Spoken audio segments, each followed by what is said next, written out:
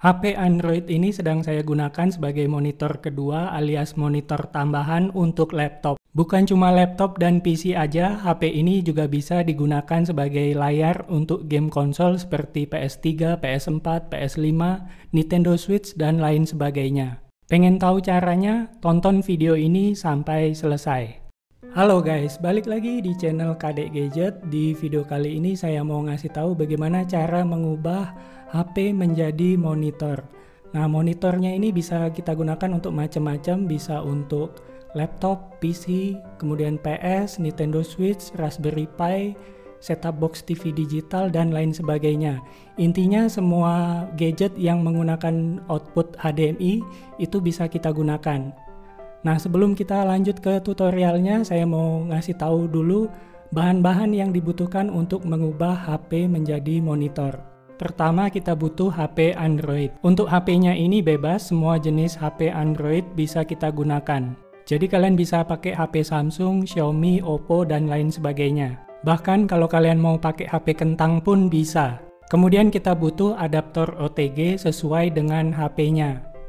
Jadi kalau HP-nya micro USB, OTG-nya juga micro USB. Kalau HP-nya Type-C, OTG-nya juga Type-C.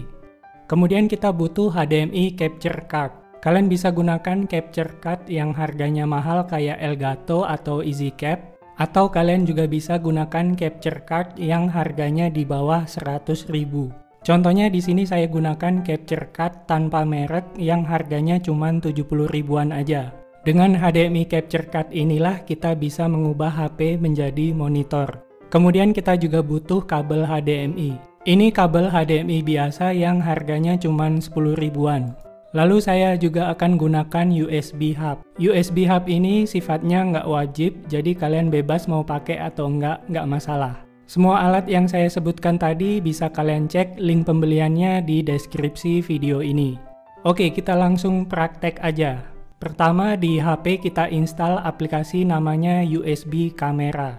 Aplikasi ini bisa di-download di Google Play Store, link downloadnya bisa kalian cek di deskripsi video ini. Aplikasi ini ada dua jenis, yang versi gratis dan yang versi bayar. Untuk yang versi gratis ada iklannya dan iklannya ini lumayan mengganggu. Jadi saya lebih merekomendasikan yang versi pro. Tapi kalau kalian mau nyobain dulu yang versi gratis juga nggak masalah. Kemudian kita pasang OTG adaptornya ke HP. Lalu kita colokin HDMI capture card-nya ke OTG.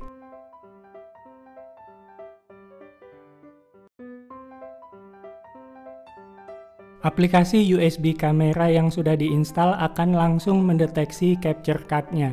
Kita pilih OK untuk membuka aplikasi USB kamera.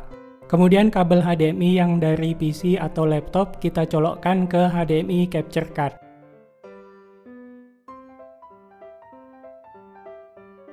Kalau misalkan tampilannya nggak muncul, coba cabut OTG-nya kemudian pasang lagi.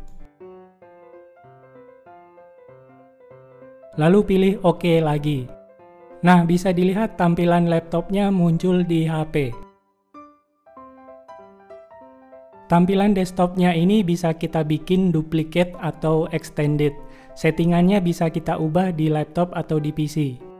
Setup kayak gini punya kelemahan yaitu kalau kesenggol dikit, OTG atau capture card-nya pasti akan disconnect. Solusinya kita bisa gunakan USB hub supaya colokannya lebih stabil sehingga kalau kesenggol nggak akan disconnect.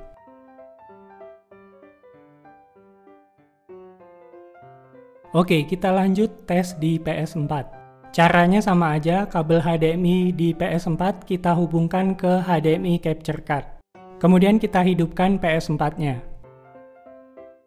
Dan bisa dilihat tampilan PS4-nya langsung muncul di HP.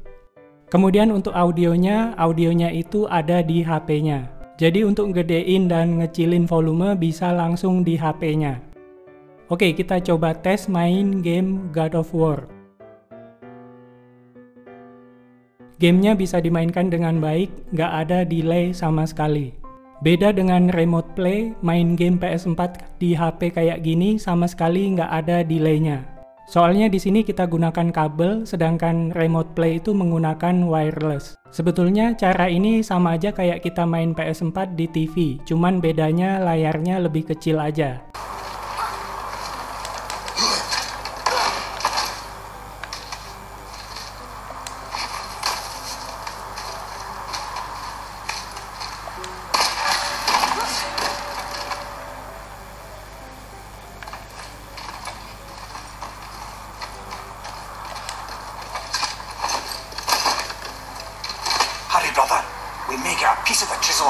Before they even notice.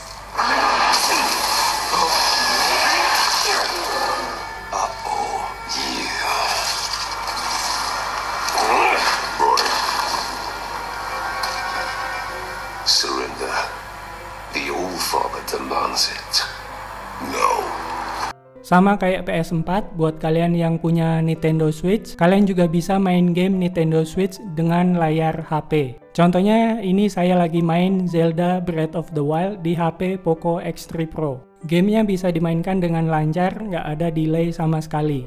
Basically, ini sama kayak kita main Nintendo Switch di TV. Oh ya, aplikasi USB kamera ini juga bisa digunakan untuk recording. Jadi buat kalian yang pengen merekam gameplay PS3, PS4, PS5, Nintendo Switch bisa dengan cara ini. Hasil rekamannya disimpan di memori HP kita. Oke, saya mau nyobain satu alat lagi yaitu setup box TV digital. Ini adalah setup box Matrix Apple di mana setup box ini punya output HDMI sehingga bisa kita colokkan ke HDMI capture card. Jadi dengan setup box ini kita bisa nonton TV digital di HP tanpa pulsa dan tanpa koneksi internet. Jadi itu dia tadi cara mengubah HP menjadi monitor HDMI. Basically dengan cara ini kita bisa menggunakan layar HP sebagai display untuk segala macam gadget yang outputnya HDMI. Cara ini punya kelebihan yaitu nggak ada delay sama sekali. Soalnya di sini kita gunakan kabel HDMI bukan WiFi. Masih banyak lagi tutorial canggih lainnya yang akan saya bagikan di channel YouTube ini, jadi buat kalian yang belum subscribe, silakan subscribe dulu. Dan buat kalian yang mau beli alat-alat yang saya sebutkan di video ini, silakan cek link pembeliannya di deskripsi video ini. Kalau masih ada yang nggak jelas, silakan tulis aja komen di bawah.